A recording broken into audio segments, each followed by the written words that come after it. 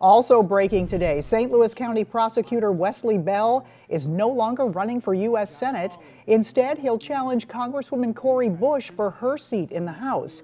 Thanks for being here at noon. I'm Kay Quinn. Bell became the county's first black prosecuting attorney in 2018.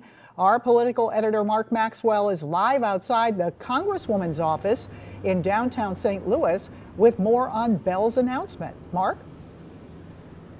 Okay, good afternoon. Wesley Bell's surprise launch jumping into this race certainly appears to have caught Congresswoman Cori Bush's campaign off guard, and what a matchup it will be, sure to draw national media attention. The prosecutor versus the activist, both of them forging their pathways to power in the aftermath of the uprising in Ferguson after the death of Michael Brown there. Uh, in the aftermath, though, they took different approaches. Wesley Bell calling for compromise and greater funding to enhance police uh, resources and law enforcement resources. She campaigned instead as an agitator activist, calling later to defund the police.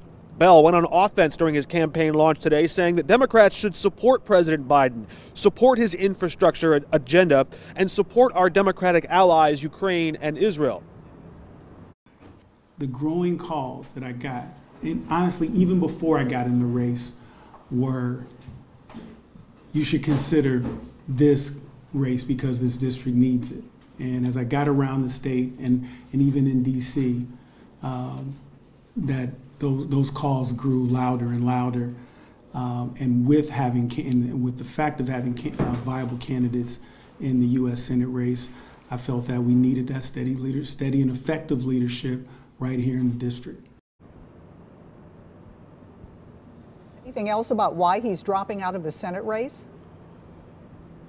Well, you heard him there suggest that Democratic Party establishment leaders, donors, and the like basically urged him to. He's leaning into that, saying that uh, it's the party that wants Cori Bush out. But there's also the strategic advantage of waiting until now. Opening uh, that Senate campaign, filing the paperwork there, allowed him to tap into some federal campaign money, maybe deeper pockets available, and then has this sort of sneak attack, the element of surprise. Uh, the Cori Bush campaign, again, didn't see this coming. We'll have a lot more tonight at 4, 5, and 6 on this uh, big development in the 2024 House race.